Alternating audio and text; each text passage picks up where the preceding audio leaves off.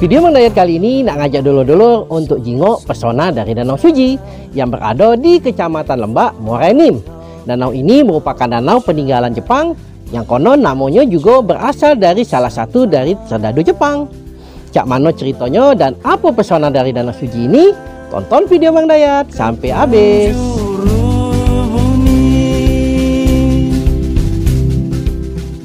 Assalamualaikum warahmatullahi wabarakatuh ketemu Mang Dayat di channelnya Wong Palembang. Jangan ngaku Wong Palembang kalau belum subscribe channel Mang Dayat. Dan jangan lupa klik tanda loncengnya. Terima kasih.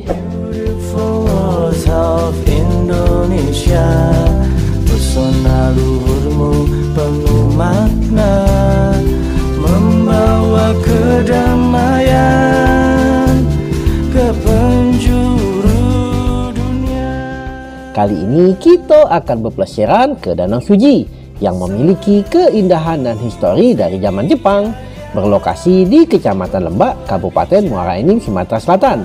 Hanya sekitar 90 menit dari Palembang dengan perjalanan darat. Danau Suji ialah objek wisata baru di Sumatera Selatan. Belum setahun dipublikasi ke, namun sudah menjadi buah bibir dan viral di media sosial dan bahkan pemberitaan. Cak Mano dulu-dulu sudah pernah ke sini apa belum?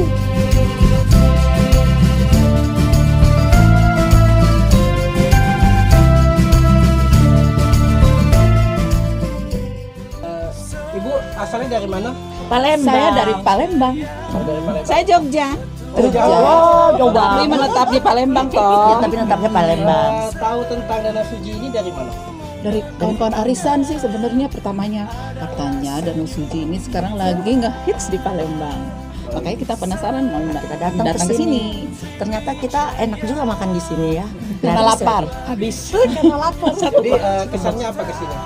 Aduh kita bangga ya hmm. bahwa Palembang Sumatera Selatan punya tempat seperti ini. Oke, wisata yang Jadi baru. Kita nggak usah jauh-jauh ya ke mana-mana hmm, ya. Mana nah, Asalnya dari mana? Dari Batu Rajo. Dari Batu Rajo. Iya. Tahu tempat ini dari mana? Dari Instagram kak, jingok-jingok dari Instagram kemarin, acak bagus nih kan, laju ke sini, laju sama kawan dari Modong ke sini. Oh gitu. Ya. Uh, setelah ke sini kesannya apa? Kesannya ya bagus sih sini, tapi cak yang tanah tanahnya ini nah kalau bisa tuh dikasih apa cak itu nah biar tidak kosong nih di depannya tuh. Gitu. Ya. Oke, ada kesan lain? Sudah, kesannya pokoknya mantap. Oke, terima kasih. Ya. Indonesia Menapa jejak di Nusantara Membawa kedamaian ke penjuru bumi Untuk menuju lokasi ini mudah bisa menggunakan mobil dengan perjalanan sekitar 90 menit dari kota Palembang. Dari Palembang bisa menggunakan tol Palindra, kemudian turun di Indralayo, keluar tol, belok ke kanan, kemudian ikuti jalan menuju ke kota Prabu Mule. Namun, objek wisata ini tidak sampai ke Prabu Mule. Setelah memasuki kecamatan Lembak, bersiap untuk memfokuskan pandangan di sebelah kiri untuk memasuki simpang desa Kemang. Kemudian ikuti jalannya, tidak seberapa jauh dan ditemu ke petunjuk memasuki area objek wisata ini. Untuk tiket masuk pun relatif murah dan terjangkau hanya 5000 per orang. Untuk mobil 5000 dan motor 3000 Senyuman indah Uang sanyaka 5000 Uang berapa ya? 126 35 sama berapa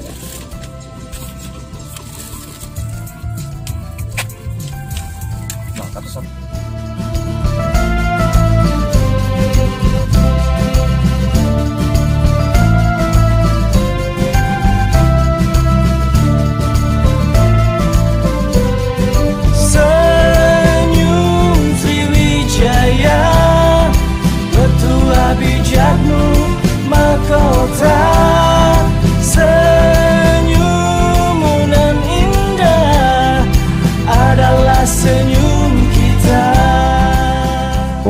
Mungkin Mang Cek Bicek tidak terbayangkan sebelumnya kalau tempat ini dulunya ialah tempat yang jauh dari kata menarik. Danau alami yang galak dijadi ke tempat mancing oleh warga sekitar. Namun sekarang tempat ini menjadi magnet untuk dikunjungi dan menjadi destinasi wisata baru. Selain memiliki suasana yang indah, objek wisata ini juga punya nilai histori, yaitu diyakini pernah berdiri markas dan juga dapur umum untuk serdadu Jepang pada masa kependudukan Jepang. Danau ini disematkan sebagai Danau Suji karena berasal dari nama jenderal ternama Jepang yaitu Suji. Jenderal Suji ini pernah tinggal dan menetap di kawasan ini. Karena itu kawasan ini disebut oleh masyarakat sebagai Danau Suji. Beautiful Indonesia Menapa jejak di Nusantara Membawa kedamaian Ke penjuru bumi Di objek wisata Danau Suji ini, kita bisa menikmati berbagai fasilitas. Walaupun dikatakan masih baru, namun bisa dikatakan juga sudah lengkap. Mulai dari lapangan parkir yang luas, saung-saung area santai di mana kita bisa duduk-duduk santai sambil menikmati keindahan danau. Bahkan saat Mang Dayat ke sini sempat berimajinasi membayangkan keadaan tempo dulu saat kawasan ini masih menjadi markas serdadu Jepang. Dan jikalau sudah ingin menggerakkan persendian, saatnya untuk naik perahu bebek atau perahu tradisional. Ayo, tunjukkan kemampuan mendayungmu. Bijakmu mahkota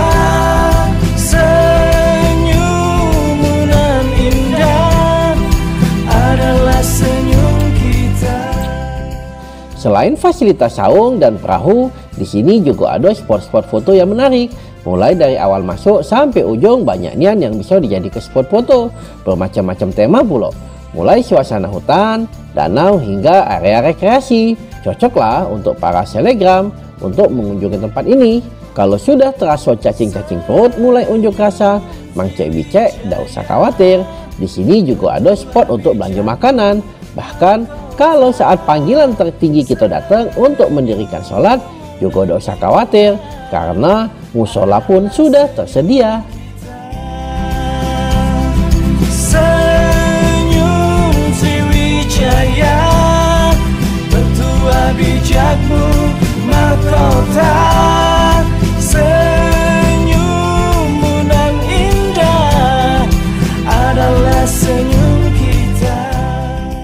Sampai sejauh ini, Dayat nilai untuk objek wisata baru sudah bisa dikatakan luar biasa. Apalagi pengelolaannya dilakukan oleh satu keluarga bersama warga sekitar. Masih terjenguk juga, pengelola masih terus melakukan pembangunan dan penambahan fasilitas di kawasan ini. Tinggal kita tunggu tanggal mainnya baik. Bakal ada apa lagi di sini kakek? Pastinya Mang Dayat yakin akan membuat kita makin nyaman untuk menghabiskan waktu di sini.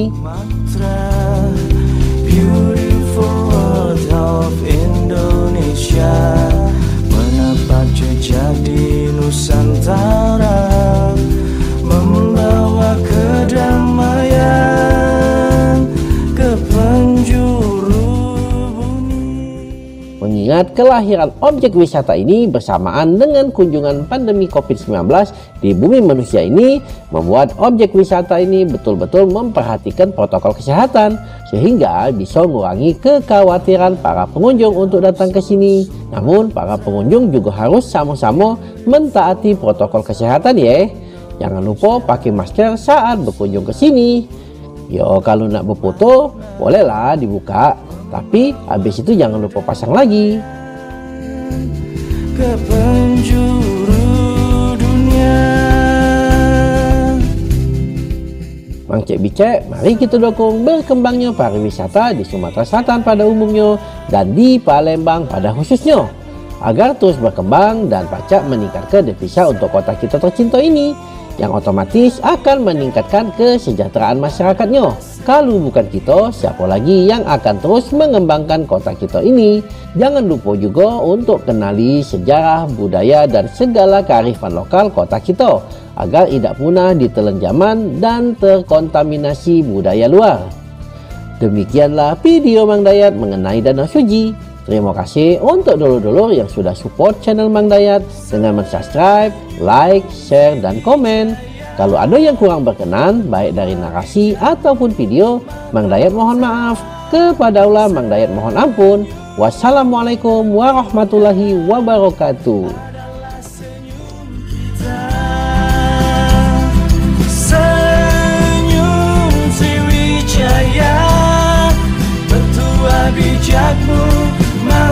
다.